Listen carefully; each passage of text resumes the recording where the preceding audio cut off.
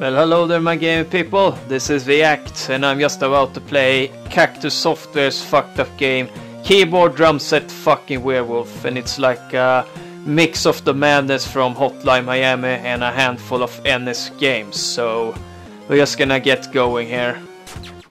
The first stage, and uh, ah, as you can see, this is uh, most obviously a fucked up uh, edition of Ice Climber.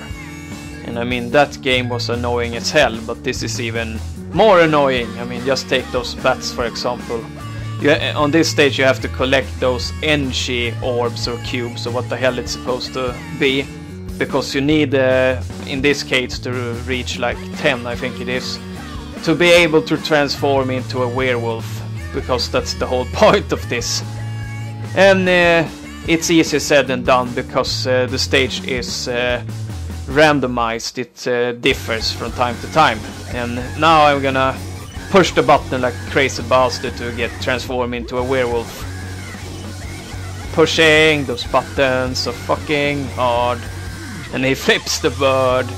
Okay, now I'm at a really strange stage here, even stranger than one previously. Because I'm supposed to kill these bastards here. Run, you fuckers! You can't run away from me! Cause I'm everywhere. Corpses, corpses, everywhere. Because I wanna eat you even when you're dead. Okay, another crazy acid trip here. Jonatan Söderström, uh, you know, the cactus guy. sure must have taken like shitload of drugs and shit when he made this. I mean, it most obviously this was like a, you know preview of uh, what was to come with Hotline Miami. Uh, this stage has to be like something from uh, Secret Commando and that what the hell was that Dennis game called again? Ikari Warriors I think. At least that's the kind of vibes that I get from this and those controls. I feel like a drunk wasted werewolf. I can't even control this, god damn it trying to kill bastards here, but they shoot at me. Okay, now I'm gonna obviously build some kind of weapon here. Spread gun. That sounds very promising. Alrighty, now it's got uh, some even more madness going on here. what the fuck is that? Oh, flying unicorn head.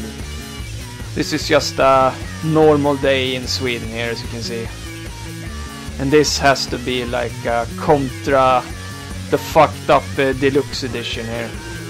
Okay, I won, so it seems. Hallelujah, and that was everything. Well, I be damned.